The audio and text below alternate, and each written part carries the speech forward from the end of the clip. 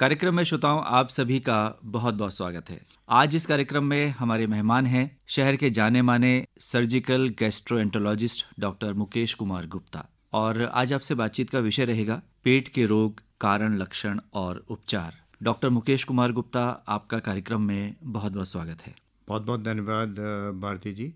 Doctor Mukesh Kumar Gupta, हमारे श्रोताओं के मन में ये प्रश्न ज़रूर उठता होगा कि जब हम गैस्ट्रोएंटोलॉजिस्ट की बात करते हैं तो गैस्ट्रो के अंतर्गत शरीर के कौन कौन से अंग शामिल हैं? भारती जी, इसमें अगर हम देखें तो जो हमारा खाने से शुरू होता है, जैसे ओरल कैविटी इसके बाद खाने की नली, अमाशय स्टमक इसके बाद स्मॉल इंटेस्टाइन छोटी आंतें, बड़ी आंतें लार्ज इंटेस्टाइन इसके अलावा लिवर पेनक्रियाज गॉल ब्लैडर तिल्ली स्प्लीन इन समूह में होने वाली सारी बीमारियाँ इसके अंतर्गत आती हैं। आज हम केवल पेट के रोग की बात करेंगे डॉक्टर गुप्ता। आमतौर पर हम सुनते हैं लोग कहते हैं कि जी मिचला रहा है। ये जी मिचलाना क्या है डॉक्टर साहब?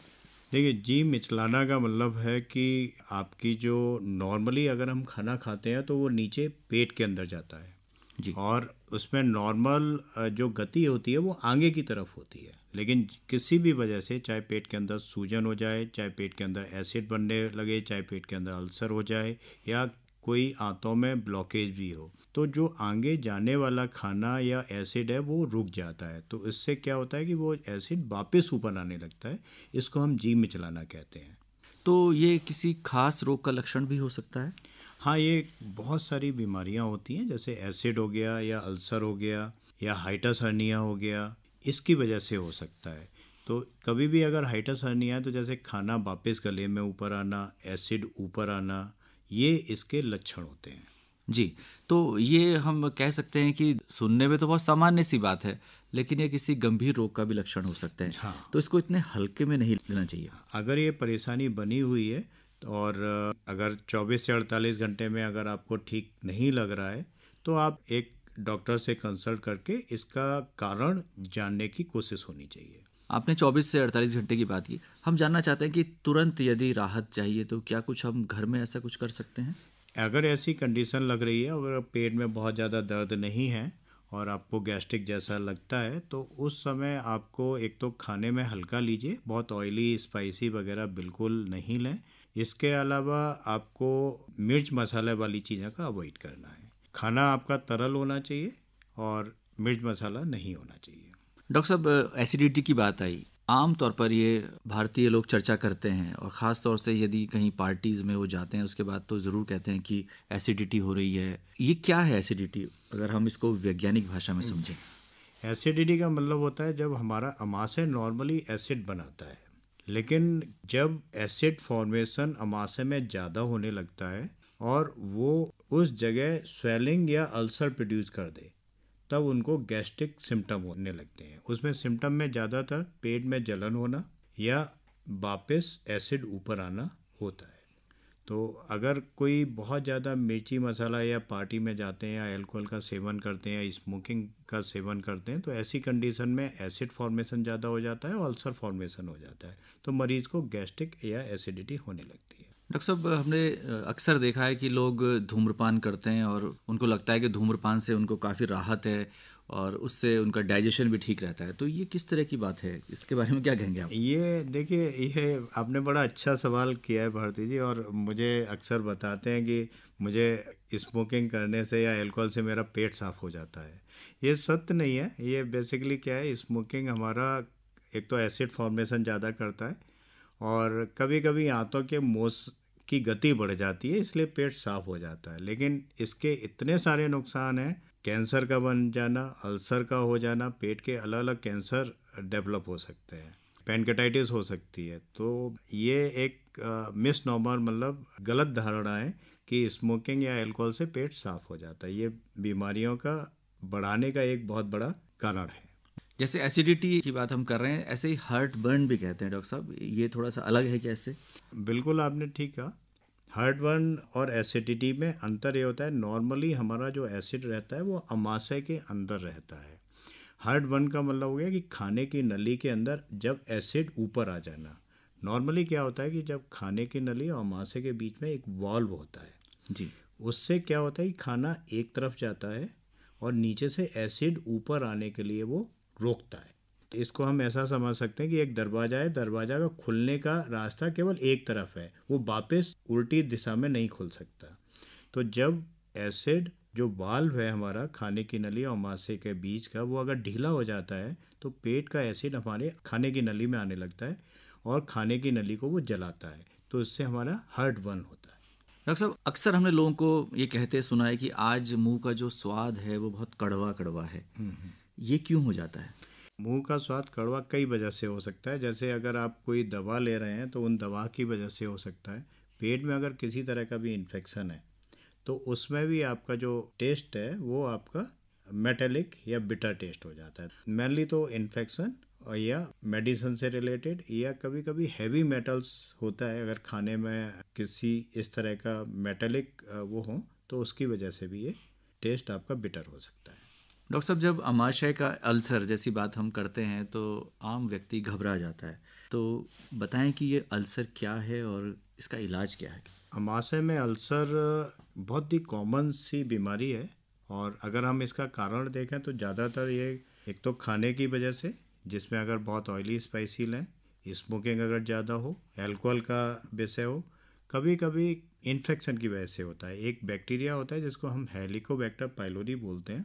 वो भी अमाशय के अंदर अल्सर बना देता है। तो ये तो हमारे कारण होते हैं और बहुत इसमें घबराने की बात नहीं है। अगर आपको तकलीफ़ हो रही है तो आप तुरंत एक बार चेकअप करा लें और अगर ये अल्सर पाया जाता है तो इसमें बहुत सिंपल मेडिसिन चलती हैं। आज की तारीख में मेडिसिन इतनी सिंपल और अवेलेबल हैं तो ये जितने अल्सर हैं वो सारे ठीक हो जाते हैं।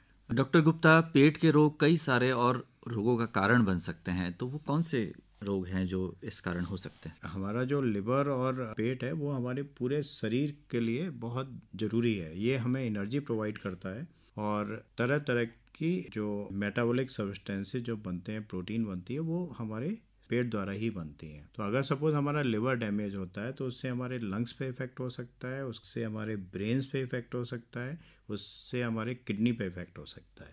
नॉर्मली हम जो भी खाना खाते हैं उसके जो हमारे ख़राब पदार्थ जो निकलते हैं उसको लिवर डिटॉक्सीफाई करता है उसको न्यूट्रलाइज कर देता है और वो यूरिन के रास्ते निकल जाता है। लेकिन अगर लिवर डैमेज हो रखा है चाहे कोई भी कारण हो तो उसकी वजह से ये हमारे अलग अलग ऑर्गन पे इफ़ेक्ट डालता है। डॉक्टर गुप्ता हम अमाशय के अल्सर की बात कर रहे थे। पैप्टिक अल्सर कैसे अलग है? पैप्टिक अल्सर अगर हम कोई भी एसिड फॉर्मेस एसिड की वजह से हमाशय के अंदर भी अल्सर हो सकता है ड्यूनम के अंदर भी अल्सर हो सकता है उसको हम पेप्टिक अल्सर कहते हैं। हमासे एक ऑर्गन है और पेप्टिक एक एसिडिटी की वजह से अगर अलग अलग पार्ट में भी अल्सर हो तो उसको पेप्टिक अल्सर बोलते हैं। जी तो क्या इसके लिए कोई बैक्टीरिया जिम्मेदार है? आमतौर पर लोग जानते हैं कि हेलिकोबैक्टर इसके लिए जिम्मेदार होता है। ज़्यादातर लोगों में देखें तो हेलिकोबैक्टर पाइलोरी जो बैक्टीरिया होता है वो भी इसके लिए बहुत जिम्मेदार होता है। तो इसके बचाव के क्या तरीके हैं? इसमें एक एंटीबायोटिक का कोर्स होता है नॉर्मली 10 से 14 दिन के लिए दिया जाता है तो 90 परसेंट लोगों में ये बैक्टीरिया किल हो जाता है ख़त्म हो जाता है और ये ठीक हो जाता है। डॉक्टर मुकेश गुप्ता आपको एक जाने माने सर्जन के रूप में जाना जाता है। पेट के कैंसर आमतौर पर बहुत ज़्यादा सुनने को मिल रहे हैं तो पेट का कैंसर क्या है और कैसे इसको हम पहचान सकते हैं? आपने बहुत ही अच्छा सवाल किया। मुझे बड़ी प्रसन्नता होती है। आज हम यानी मेडिकल साइंस ने इतनी तरक्की कर ली है कि इन बीमारियों को बहुत जल्दी पकड़ा जाता है। और इन बीमारियों को पहले कहा जाता था कि क्योर नहीं हो सकते थे, अब एक क्योरेबल स्टेज में, यानी पूरी तरह से शरीर से ख़त्म हो जाती है। पेट के कैंसर की अगर हम बात करें तो मैंने जैसे ऑर्गन बताया तो खाने की नली में अगर कोई कैंसर है तो आपको खाना अगर निगलने में दिक्कत हो रही हो, और इसके अलावा अगर खाना खाने के बाद पेट में वापस उल्टी होना शुरू हो जाए सुबह का खाना शाम को उल्टी होने लगे। आपको लगातार पीलिया, बिना दर्द के पीलिया बढ़ता जा रहा हो। भूख लगना कम हो जाए, वज़न कम होने लगे। इसके अलावा अगर लेटिन में ब्लड आने लगे तो अगर ये सारी समस्याएँ हैं तो इसमें आपको कैंसर के लक्षण हो सकते हैं। अगर कैंसर के लक्षण अगर आपको लगते हैं तो अगर खाने की नली और अमाशय हैं तो उसमें एंडोस्कोपी से हमें पता लगा लिया जाता है। बाकी कैंसर हमें सीटी स्कैन से पता चल जाते हैं। एक बार अगर हमें कैंसर का पता चल जाता है तो उसका इलाज होने से अगर ये शुरुआत वाली स्टेज में होते हैं तो ऑपरेशन करके या दवाइयों से ये ठीक हो जाते हैं। जी, आमतौर पर लोग ये कहते हैं कि एंडोस्कोपी या जो सीटी स्कैन है या अन्य जांचें बहुत महँगी होती हैं, डॉक्टर अनावश्यक रूप से करवाते हैं। तो क्या कहना चाहते हैं ऐसे मरीजों से, ऐसे रोगियों से? देखिए, एक तो अगर आप महँगे की बात करें, अगर भारत देश में देखें और हम और देशों के कंपैरिजन में करें तो यहाँ पे जो मेडिकल ट्रीटमेंट है, वो किसी भी विदेश वाले हॉस्पिटल से वन टेंथ है। अगर हम एंडोस्कोपी की भी बात करें या सीटी स्कैन की बात करें तो जो कॉस्ट यहाँ पे होती है, उससे दस गुनी कॉस्ट बाहर होती है। दूसरा, अगर हम ये बात करें कि कुछ मरीजों के पास पैसे की अगर समस्या है तो सरकारी हॉस्पिटल में ये जांचें अवेलेबल हैं तो आप उनको करा सकते हैं। ज़रूरी ये है कि अगर आपको सिम्टम है तो आप जितना जल्दी आप बीमारी को पकड़ पाएँगे तो एक तो आपकी बीमारी ठीक होती है और आपके कॉम्प्लिकेशन और जीवन दोनों ही आपके सुरक्षित हो जाते हैं। तो जैसे आपने कहा कि पेट के कैंसर की जाँच और इसका इलाज अब संभव है इस तरह की चिकित्सा सुविधाएँ हमारे देश में भी हैं। और यदि पकड़ में आ जाए प्रारंभिक अवस्था में तो इसका इलाज किया जा सकता है। चूँकि हम पेट के रोगों की बात कर रहे हैं, डॉक्टर साहब, और इसमें बहुत कुछ निर्भर करता है कि हमारी जो जीवन शैली है, हमारा खान पान किस तरह का खान पान हमारा होना चाहिए ताकि हम इन रोगों से बचे रहें, इनसे बचाव हो सके। आपने बिल्कुल बहुत अच्छा सवाल किया है। ये बहुत ज़रूरी है कि जो हमारा जीवन कैसा होना चाहिए, हमारी लाइफ स्टाइल कैसी होनी चाहिए, जिससे हम इन बीमारियों को कम कर सकें। सबसे ज़रूरी विषय है कि आपकी बैलेंस डाइट होनी चाहिए। बैलेंस डाइट में फ्रूट्स आपके अच्छे से होने चाहिए वेजिटेबल्स अच्छी होनी चाहिए, आपका दाल, रोटी, सब्ज़ी जो नॉर्मल होती है, उसे होनी चाहिए। जंक फ़ूड को बिल्कुल अवॉइड करें। इसके अलावा बहुत ऑयली स्पाइसी फ़ूड बिल्कुल अवॉइड करें। रात में सोने से पहले एटलीस्ट तीन घंटे पहले आपका रात का खाना होना चाहिए। और स्मोकिंग एल्कोहल का सेवन बिल्कुल ना करें। व्यायाम आपका जीवन शैली में बिल्कुल होना चाहिए। आप कम से कम 45 मिनट से एक घंटे का एक्सरसाइज किसी भी फॉर्म में एक्सरसाइज करें, ये बहुत ज़रूरी है। इसके अलावा योगा की प्रैक्टिस करें। पंद्रह मिनट, बीस मिनट आप डेली योगा की प्रैक्टिस करें। इससे आप, है ना, पेट आपका काफ़ी कंट्रोल रहेगा, मन स्वस्थ रहेगा, जिससे आप बहुत सारी बीमारियों को बहुत होने से रोक सकते हैं। डॉक्टर मुकेश गुप्ता, क्या तनाव भी हमारे डाइजेशन को, हमारे पेट की समस्याओं को बढ़ा सकता है? बिल्कुल। स्ट्रेस, तनाव हमारे शरीर को बिल्कुल अफेक्ट करता है विशेषकर ये आंतों को बहुत ज़्यादा इफ़ेक्ट करता है। एसिड फॉर्मेशन ये ज़्यादा करता है, हमारी इंटेस्टाइन की गति को बढ़ा देता है। बहुत सारी बीमारियाँ, जैसे इरिटेबल वावल सिंड्रोम जिसको हम कहते हैं, वो इसी कारण से ज़्यादा है। तो तनाव हमारा बहुत कम होना चाहिए, वो आंतों को डायरेक्टली इफ़ेक्ट करता है। तो डॉक्टर मुकेश कुमार गुप्ता आज आप इस कार्यक्रम में आए और आपने बहुत ही महत्वपूर्ण जानकारी हमारे श्रोताओं के साथ साझा की कि जो पेट के आम रोग हैं, वो क्या है, उनके लक्षण क्या हैं और किस तरह से हम इन रोगों से दूर रह सकते हैं, इनसे बचाव कर सकते हैं। आपका स्टूडियोज़ में आने पर बहुत बहुत आभार बहुत बहुत धन्यवाद।